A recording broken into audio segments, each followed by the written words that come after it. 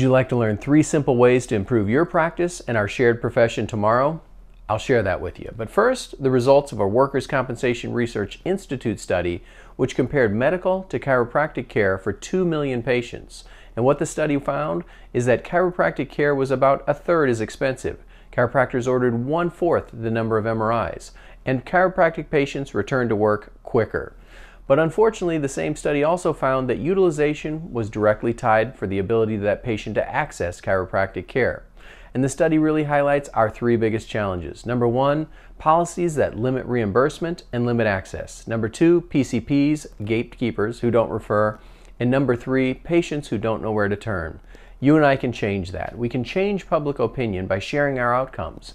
The COP study that ChiroUp published just earlier this year was a study of 660,000 office visits, presentations, and what the study found is that your outcomes were incredible, that your outcomes were 80% improvement within the first 30 days. Your patients had a 97% likelihood to refer because their patient satisfaction was 93% excellent and 6% good, meaning less than 1% fair or poor. No other profession is reaching those statistics. Share those outcomes on social media. Go to chiroup.com, look at the industry report under the resources tab, download the infographics, and share them with your patients and social media followers. Number two, we need to do a better job of educating PCPs. Their own journals and their own clinical practice guidelines said stop prescribing medication and start referring to chiropractors. But they're not listening. In fact, just last week, a survey published confirmed that, that saying the number one reason that PCPs don't refer to chiropractors is because there's a lack of perceived benefit. Why is that? Because as providers, we only share each other's failures.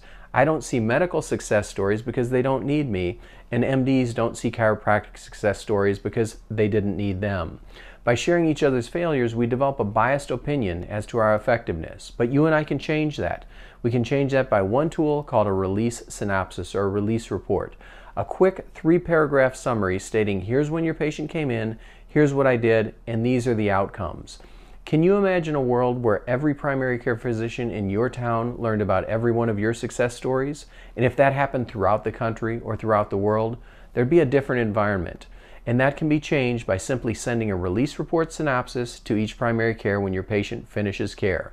If you need a sample of that, check out the blog or check out the ChiroUp website. You'll be able to download a template that you can use. And number three, we need to make sure that legislators understand that including chiropractic into plans saves money. Right now, the ACA is championing a bill that's going to help improve Medicare reimbursement and access. If you're not aware of that or haven't contacted your senator or representative, check out acatoday.org to find out what you can do today. And finally, and most importantly, we need to recognize that we're all part of something bigger. In school, we fought our battles together, but after graduation, we became progressively more isolated until we're the lone wolf.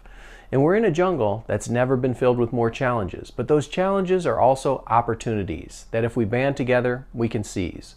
As a ChiroUp subscriber, you're part of our profession's largest and most respected network of evidence-based providers, more than 2,500 DCs in 15 countries throughout the world, who have chosen to learn and grow every day to share best practices, and to work together to make our profession the undeniable best choice for patients and payers alike. As a subscriber, we're proud to have you on board. And if you're not yet a subscriber, be sure to check out the website. We'd love you to join that mission.